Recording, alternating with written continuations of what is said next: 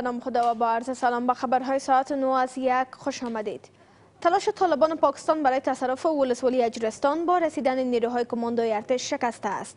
مقامات محلی در غزنی می‌گویند کماندوهای ارتش شب گذشته به کمک نیروهای امنیتی در اجرستان رسیدند و خطر سقوط را دفع کردند.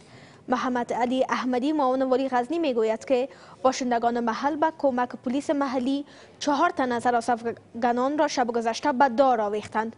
شمار کشته ها و زخمی های غیر نظامیان و نیروهای امنیتی در اجرستان تا شامی دیروز نزدیک به 100 نفر گزارش داده شده بود.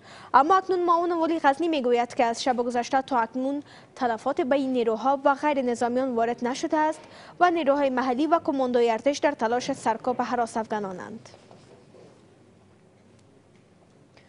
اصلاح سیستم انتخاباتی در صدر کار حکومت وحدت ملی قرار دارد.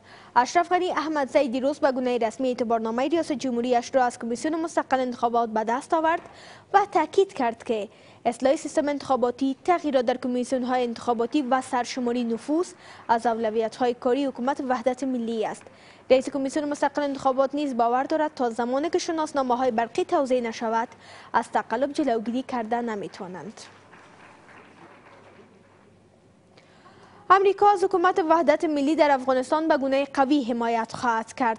فرستاده ویژه امریکا برای افغانستان و پاکستان می‌گوید توافق اشرف غنی احمدزی و عبدالله عبدالله بر سر تشکیل حکومت وحدت ملی برای ثبات و آینده افغانستان بسیار مهم است.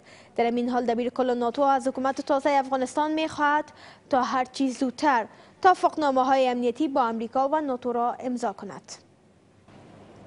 این توافق اشرف غنی احمدزی و عبدالله عبدالله نه تنها در افغانستان بل استقبال جهانی را هم به دنبال داشته است. ایالات متحده آمریکا شریک راهبردی افغانستان که در این توافق میان دو نامزد نقش کلیدی داشته اکنون آماده پشتیبانی از حکومت وحدت ملی است.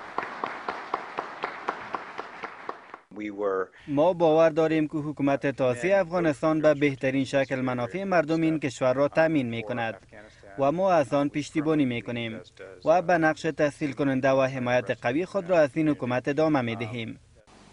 امضای توافقنامه امنیتی با امریکا و نیز با ناتو نخستین اولویت حکومت تازه افغانستان پنداشته می شود.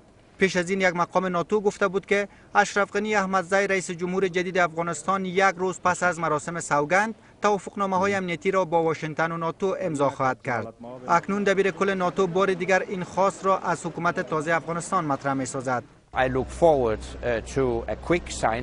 من انتظار آن هستم تا بزودی موافقتنامه امنیتی میان امریکا و افغانستان و همچنان موافقتنامه حضور نیروهای ناتو در افغانستان بزودی امضا گردد و زمانی که این موافقتنامه ها امضا شوند راه برای مأموریت آموزشی ما در افغانستان باز می‌گردد و این مأموریت از اول جنوری 2015 آغاز خواهد شد.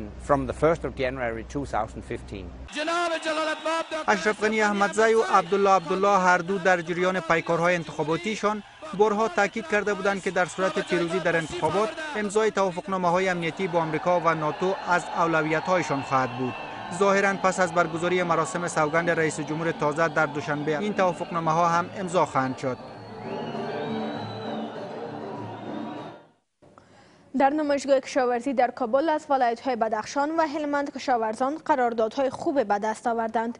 اما نسبت به پارسال حضور بازرگانان خارجی در این نمایشگاه کم رنگ بوده است.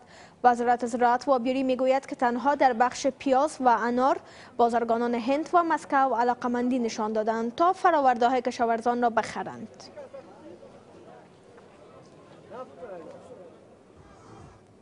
از امرویتان به خبرهای این ساعت سپاس. خدا نگهدار.